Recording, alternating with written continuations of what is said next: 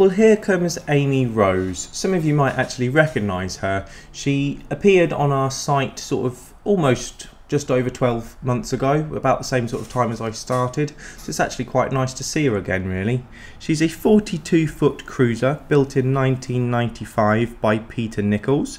Peter Nicholls also did the fit out. So she's fitted out in oak face ply with oak trim. The current owner has painted various parts of the boat inside, which you'll see shortly. So she benefits from a blacking in April 2021. There were six new anodes put on in 2016, which were still deemed satisfactory at the blacking.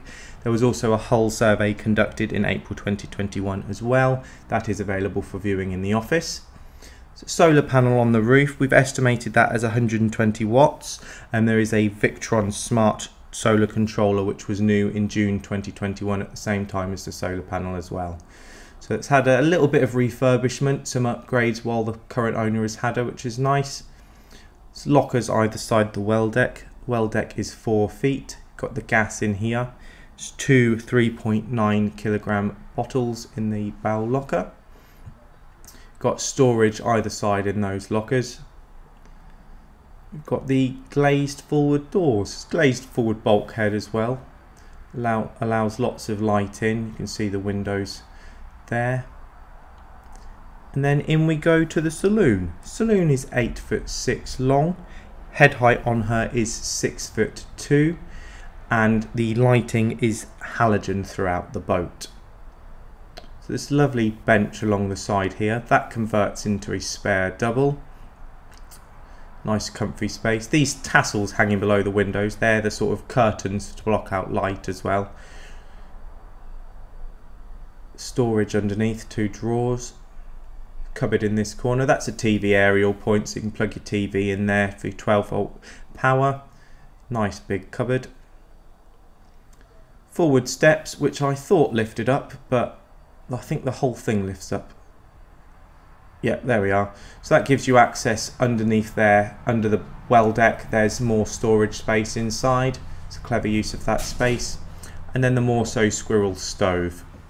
Two little folding chairs there. This is quite nice. It's reminiscent of a sort of boatman's cabin table, but much bigger. So you've got a dining table and some shelves behind makes clever use of the space without having to uh, have a gate leg table take up room if you want a sort of dining table. Storage below that. As I said, very reminiscent of a boatman's cabin.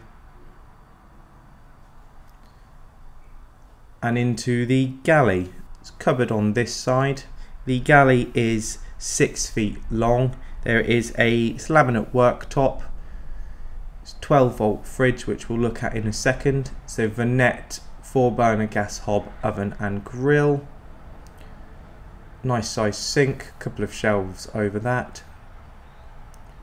Decent amount of storage in this galley. There's a little drawer here and then a very large cupboard that goes into the corner space making great use of all the available space which is what you need on a 42 foot.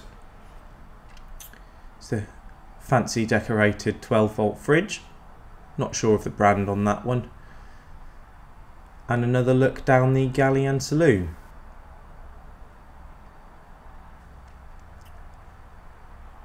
Bathroom is off corridor, so you go down here and then it's just tucked inside here.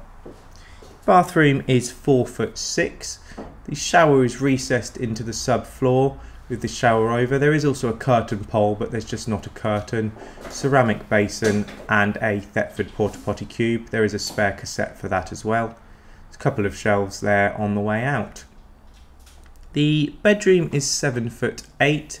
It's got this fold down cross bed. The bed turns into a six foot two by four foot six crossbed, nice, neat, neatly stores away. That panel does also fold back under the mattress if you don't want it up. Shelf above the bed and a couple of reading lights. At the aft end, oh no, drawers first, drawers under the bed. The calorifier is also under the bed. That is heated by the engine. At the aft end of the boat, you've got another cupboard I suppose you could put another TV there if you ran the cables to it as well if you wanted a TV in the bedroom. The inverter is a Trace DR series 1600 watt inverter charger under that step and a nice full height wardrobe. Out we go onto the cruiser stern deck. Cruiser stern is 7 foot 2. The engine is housed below. That's a Beta Marine Cobalt BV1308. It's 38 horsepower. Pretty tidy in here. It's bank of brand new batteries, so it's 320 amp hour domestics. They were new in June 2021 and there is a 100 amp hour starter 70 amp alternator. Obviously that's all being topped up by the solar panels that I've already said about. Really good social space out here. And there's a view from the helm. There is also a tonneau cover for the back to keep the rain off, which is very useful at the moment as it really is coming down heavily. Eight of these bus style opening hopper windows, glazed forward doors and glazed, glazed forward bulkhead. Comes with all the relevant navigation equipment, ropes, pole hook, fenders, windlass hammer, that sort of thing. And there we have it. That is Amy Rose. For a fully downloadable colour brochure, the price and further spec, go to our website at www.rugbyboats.co.uk.